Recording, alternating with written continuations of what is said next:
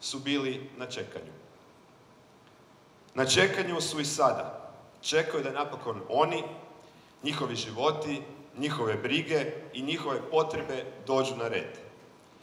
Čekali smo to i mi, kao građani, sve do prije pet godina, kada smo odlučili da više nećemo čekati. Odlučili smo da nećemo čekati nikoga i da mi, mi smo ti koji moramo iznjediti promjenu.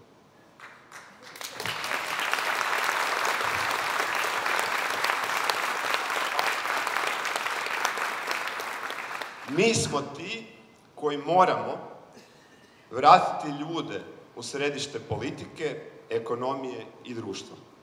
Hrvatske vlasti koje smo do sada imali napustile su svoje građane i koriste ih isključivo svake četiri godine kao glasačku mašinu, stoga nije čudno da velik broj naših građana u tome više ne želi sudjelovati. Istovremeno naša ekonomija, naše društvo stagnira, to je ta stabilnost. Ljudi odlaze. Ne u stotinama, ne u tisućama, ne u desecima tisuća, nego odlaze u stotinama tisuća iz ove zemlje. Gubimo ono što je najvrijedniji resurs svake zemlje, a to su ljudi. Sve je to posljedica koruptivnog i klijentelističkog modela, kao i posljedica nedostatka hrabrosti da se provedu one promjene koje će ovu zemlju učiniti zemljom u kojoj se dolazi, a ne zemljom iz koje se odlazi. Promjene koje su smjerene na ljude i na njihovu kvalitetu života.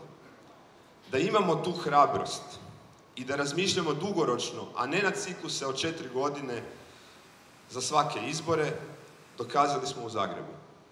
Sve one teške, ali apsolutno nužne promjene od restrukturiranja primjerice Zagrebačkog holdinga, financijske konsolidacije, ulaganja u infrastrukturu za ljude, ukidanja mjere roditelj-odgojitelj, promjene modela gospodarenja otpadom, otkazivanja koncesijskog ugovora nakon 24 godine, pa na kraju i odluke o izgradnju centra za gospodarenje otpadom nakon 20 godina obećanja.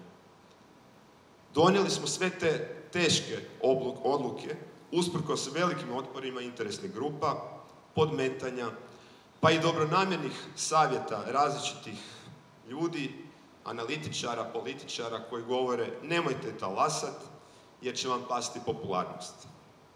Dokazali, evo jučer, navečer, na noći muzeja, čujem nešto što čujem skoro svaki dan kao gradonačelnik Zagreba. Ne bih vam htio ili ne bih vam htjela biti u koši ali mi smo dokazali da se može upravljati nepotkupljivo i u javnom interesu, interesu većine i to sa nula pogodovanja u skoro tri godine, nula veza, nula podilaženja interesima velikih igrača i nula korupcijskih afera.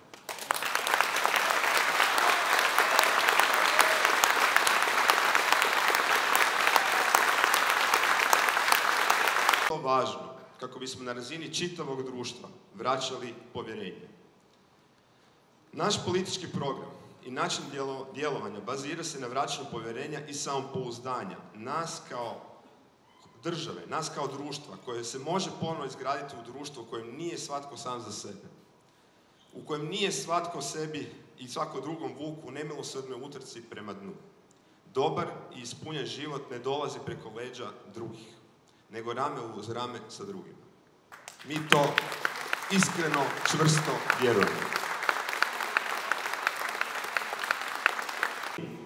I da štiti sve svoje građane i svima osigurava život bez egzistencijalnog stresa. Zemlja u kojoj je ekonomija usmjerena na ostvarenje glavnih društvenih ciljeva poput dostojanstvenih plaća, uvjeta rada, energetske i prehrambene samodostatnosti, zelene tranzicije, povezivanja znanja, istraživanja i razvoja za gospodarstvo koje stvara robe i usluge potrebne za suočavanje sa najvećim izazovima današnjice poput klimatske krize.